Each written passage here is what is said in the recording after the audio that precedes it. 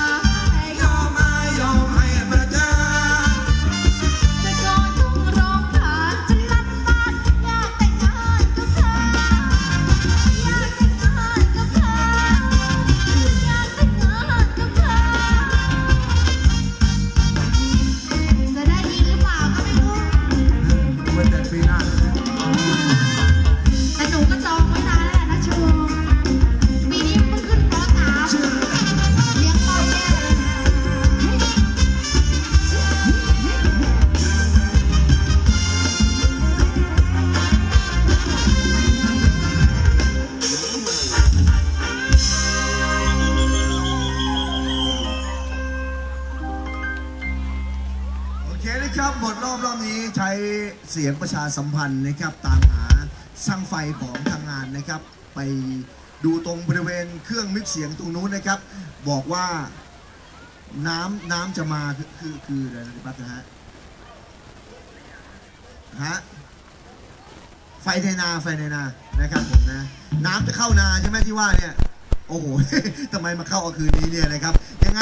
ช่างไฟช่างไฟไปดูนะครับไฟบริเวณที่จอดรถที่อยู่ในนาหน่อยนะครับ ว่าจะมีการสูบน้ำเข้านาหรือว่าอะไรประมาณนี้แหละจะได้แสดงว่าปล่อยน้ำเข้านาน้องจัดเลย จัดเตรียมความปลอดภัยแล้วก็จะได้ทำให้ถูกนะครับ ว่าจะทำยังไงวางแผนกันถูกต้องนะครับน้ำจะเข้านานแล้วเขามีไฟปักอยู่ใช่ไหมอันใช่ตราใช่ย เอ้ยทำไมไม่เข้าคืนนี้ แต่รถไม่ต้องเลื่อนนะ